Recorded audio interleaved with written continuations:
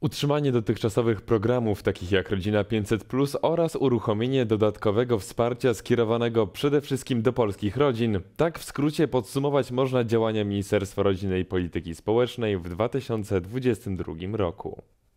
W mijającym roku Ministerstwo Rodziny i Polityki Społecznej podjęło się wielu nowych wyzwań. Jednym z nich jest wyjście z pułapki niskiej dzietności. Od 1 stycznia tego roku ruszyło nowe świadczenie rodzinny kapitał opiekuńczy.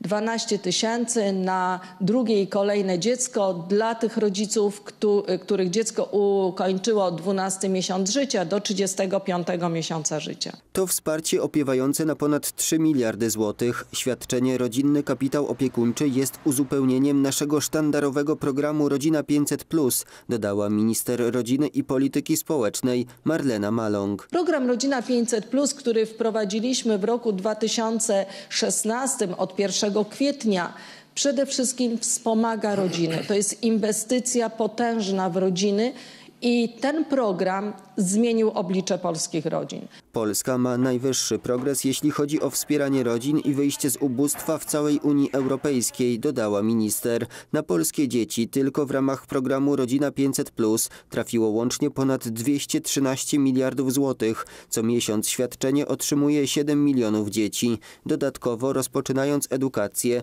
uczeń objęty zostaje programem Dobry Start. Tą wyprawką objęliśmy ponad w tym roku tylko, w roku 2022 ponad 4 miliony dzieci. Blisko 1,5 miliarda złotych z tego programu trafiło do polskich rodzin. Nie można zapomnieć o programie Maluch Plus. Kiedy obejmowaliśmy rządy końcówką roku 2015, miejsc opieki żłobkowej było około 84 tysiące w Polsce. Dzisiaj jest ich ponad 230 tysięcy. Teraz na program będą przeznaczane jeszcze większe środki, tak by powstało 100 tysięcy nowych miejsc opieki żłobkowej. Docelowo żłobek miałby powstać w każdej gminie. Wsparcie rodzin to także nowelizacja ustawy o pieczy zastępczej, która zmienia stawki godzinowe dla rodziców zastępczych. Wychodząc naprzeciw aktualnym wyzwaniom, w tym pandemii COVID-19, w kodeksie pracy pojawił się przepis umożliwiający przechodzenie na pracę zdalną. Kolejna ważna informacja. Od nowego roku czeka nas podwyżka płacy minimalnej i to dwukrotna. Będzie na poziomie 3600 zł.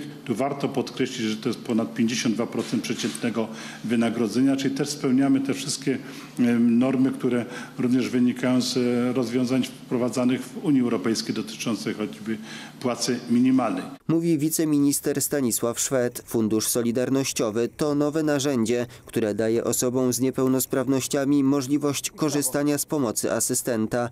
Druga ważna usługa związana jest z opieką wytchnieniową. Oferowana tym, zwłaszcza rodzicom czy opiekunom, którzy e, poświęcają cały swój czas na zapewnienie wsparcia e, niepełnosprawnemu członkowi swojej rodziny, najczęściej to jest dziecko, ale nie zawsze, nie tylko. Mówi wiceminister Paweł Wdówik. W ramach funduszu powstały również centra opiekuńczo-mieszkalne, czyli placówki dla osób z niepełnosprawnością, które przypominają warunki domowe.